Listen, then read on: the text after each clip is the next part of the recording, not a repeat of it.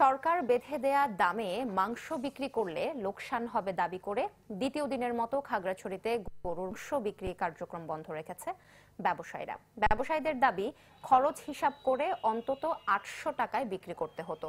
কিন্তু সরকার ছশো টাকা দাম নির্ধারণ করায় তারা ক্ষতিগ্রস্ত হচ্ছেন, তাই বিক্রি কার্যক্রম বন্ধ রেখেছেন। এদিকে গরুর মাংস ছাড়াও সরকার নির্ধারিত মূল্যে অনেক পণ্য বিক্রি অসম্ভব বলে দাবি করছেন ব্যবসায়ীরা। সরবরাহ না থাকার অজুহাতে ব্রয়লার ও সোনালী মুরগি বিক্রিও বন্ধ রয়েছে জেলায়।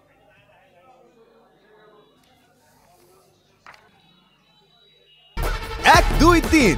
ঢাকায় জমি জিতে নিন একশো পার্সেন্ট ক্যাশব্যাক সহ বিশ কোটি টাকার পুরস্কার।